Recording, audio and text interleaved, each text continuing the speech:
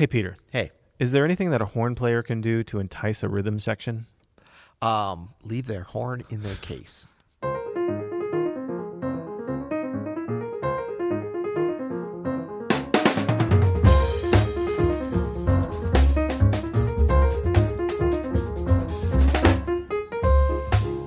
I'm Adam Maness. And I'm Peter Martin. You're listening to the You'll Hear podcast. Daily jazz advice coming at you, and a lot of love for the horns. I was just kidding. I love the horns. Um, it's one love out here. Yeah, man. We couldn't do uh, we couldn't do half the interesting stuff we do. Well, we could. We could do about half, actually. Eh, We could do about half About of it. half, yeah. but that leaves the other half, which is super interesting. Uh, so this comes from uh, SpeakPipe, which we mentioned last week. We ended last week with the SpeakPipe, and this is another one. This is from Terry. Let's check it out. Hi, fellas. Just wanted to start by saying that I'm loving the podcast and it's easily worth 7 billion stars. Anyway, I'm a Canadian saxophonist living in what seems like jazz exile in the southwest UK. Hmm. I came over here from Toronto where I was used to being able to make a couple of phone calls and have a session set up with people who are into playing just for the sake of playing and improving. But over here in rural southwest UK, I find myself dealing with some, shall we say, sensitive rhythm section players who make it feel like they're doing you a favor by accepting and or playing on a gig. I was wondering if you all could speak about some of the things a horn player can do to make the rhythm section want to play or want to engage with the music, or some of the things that your favorite horn players do to make things interesting or challenging for the rhythm section. Many thanks. All right. Thank you, Terry, for the question. That's uh, that's an interesting scenario. Yes, Switch countries. yes, yes. Go from uh, one of the the great metropolises in North America to Yeah. the southwest rural United Kingdom. I'm getting rid of my headphones again. Yeah, yeah, me too. So yeah, I mean Toronto, which is such a great music, such a great jazz town. I mean one of the one of the best. I Totally. was just up there, and I'm always like amazed by all the great homegrown musicians, but also musicians going there from the states or for other places because it's a it's, it's a nice scene and it's a super cool city. Um, and I was just looking at the map real quick as he said Southwest England because I was actually in I don't know if he's in like Exeter, Exmouth, that area, but I was there for a, actually a family wedding.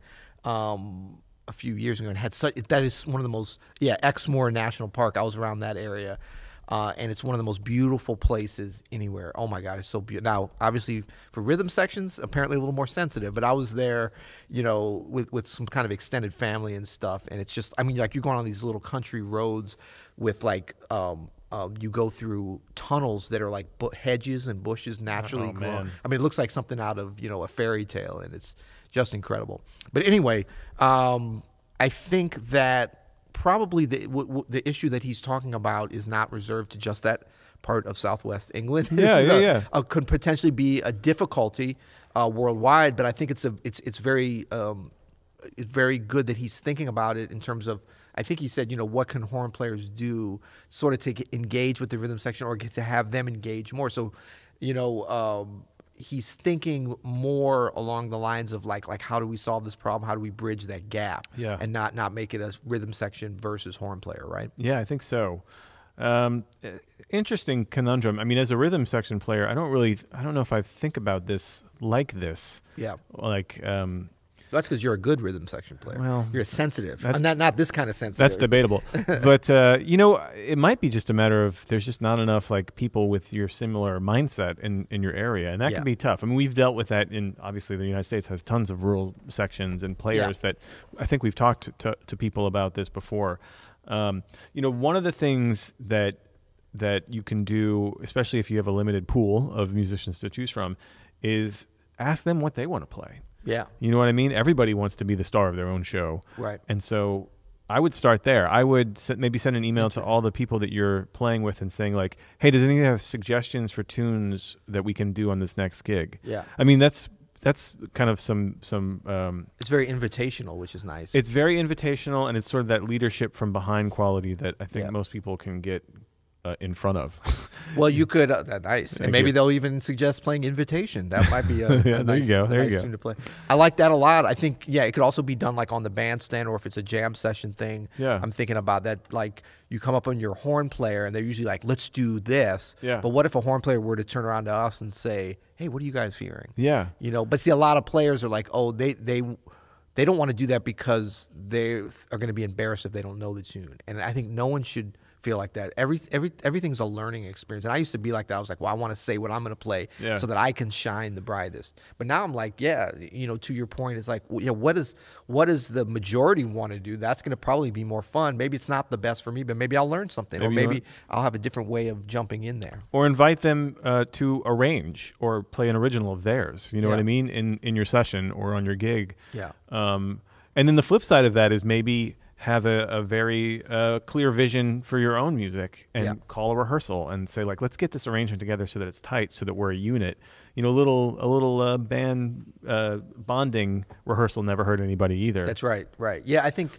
the importance of connecting with other musicians you're going to play with off the bandstand on a personal level can never be Yeah. understated. And sometimes you don't have a lot of chance to do that, so you have to do it kind of right before the gig or on the bandstand. yeah Um, but if you're in this place with these this again a limited pool terry you can invite them to go see some music Yeah. you know and just hang or maybe go grab a pint. You're in the Totally. you're in the right part of the world. get some coffee That. or some food or something and like really you know like befriend them and Yeah. and then playing with friends is always the most fun I did a recording session recently with some amazing musicians that I didn't know. Um, I mean, one of them, I two of them I knew out of the six or seven that were playing. The rest I met like like literally as we started the session. Yeah. Like because I got there a little late. I didn't get there late. I got there right when it was starting, and Yeah. everybody was kind of set up already, setting up, and we just sort of jumped into it. And it wasn't even until the first sort of break, an hour and a half, two hours into it, that I got to like kind of shake hands and learn, you know, introduce myself and learn their names. Even I mean, it was crazy. Yeah, yeah. But we were able to bond over the music. So that's not a given though. Like that's a special thing. That's a special But thing. even that, even though we bonded amazingly, very rarely that everybody bonds like and you got headphones, different rooms.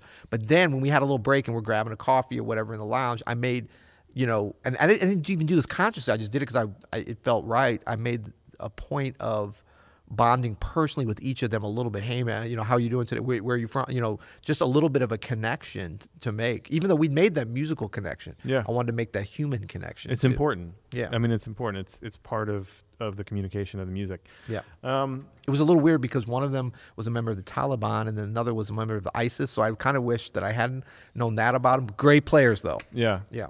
the other thing I'm, that comes to mind with this is more cynical Yeah. and that is money talks Money. That's right. Pay them more. Pay, pay, pay to play. Pay yeah. to play. yeah i You mean gotta pay to play. it's uh, sad but true yeah. uh, if if there's a really good drummer who's like not showing interest or whatever, just be like, "Yo, here's here's more money than you thought you would get for this." Yeah. and they'll probably do it. Yeah, that's true. it's true. And I mean, yeah, look, as you move up on the professional level, that has less to do with do with it. Hopefully, I mean, in other words, Or like- sometimes more. yeah, yeah. But the reality is, yeah, no, absolutely. Um, let's just talk about a couple things um, on the like as you're playing, because that's actually uh, kind of how I interpret this question. I might have been wrong, but I think it's interesting too. Things that horn players can do to make it more interesting, to interact more. Yeah. And and I would say the first, you know, as you're actually playing a solo, I think the first thing that comes to my mind is listen. yeah, And I was just doing this gig with Ron Blake, incredible uh, tenor saxophonist, and, and actually the two horn players were Nicholas Payton and Ron Blake. I saw some of that. Yeah. that was amazing. And Ron Blake, Nicholas does this in his own way also, but Ron Blake is one of the biggest listeners at the beginning of his solo that I've ever heard of any horn player. Yeah. Like the amount of space that he leaves, it's almost unnerving because you're like, oh, should I? Is he gonna ever start to play? But like he wants to like just be in the moment and Yeah. like leave space. And like he's so he has such great ears and ideas and he's so confident with what he's going to play. He wants often for you as in the rhythm section to give him an idea. Like he wants to to invite the engagement almost entirely from the rhythm section I love so it's so fun you know I th- this is for anybody, not just horn players. Right. But I do this all the time too, where it's like ninety percent of my ideas come from the people I'm playing with. Yeah. because I just try to open up and just absorb what's happening, and that doesn't mean mimicking what they're doing. But if No. someone gives me an idea, I'll try to expand on it. It's like the easiest way to play jazz, and also the most effective. Yeah, no, it's the easiest and the hardest too at the same It's time. because your ego gets in the way, and you want to just play all the stuff you do. It's very simple. It's very simple if you allow yourself to Simple. get to that That's a good level. word, yeah. But the other thing is you have to really have developed your ears to be able to do that That's because true. you have to be able to.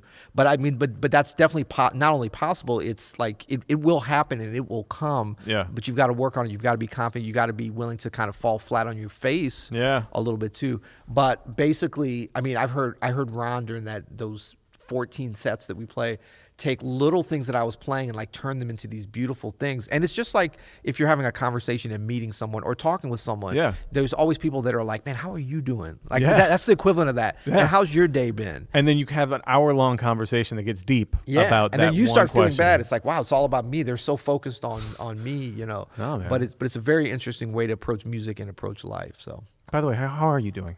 No, how are you doing? No, how are you, Andrew? How are you doing? oh, there you go. Well, thank you, Terry, for the uh, for the voicemail for the SpeakPipe. Uh, Yeah. Peter, where can people go to leave us a, a voicemail? Uh, you'll hear it.com. And I hear they can also not do ratings and reviews there. They cannot. For that, you're going to want to go to Apple uh, Podcasts or really wherever you're listening to this podcast. Just Stitcher. Stitcher, wherever it is. If you're watching on YouTube, give us a like Yeah. and follow so that you see all great things that are coming out of the Open Studio Award. Shout out YouTube. I'm looking Yeah. right at you. You know what I'm saying? Keep Googling, y'all. Keep keep it up, man. Company's really going places. There you go. um, and um, I guess till tomorrow. You'll hear it.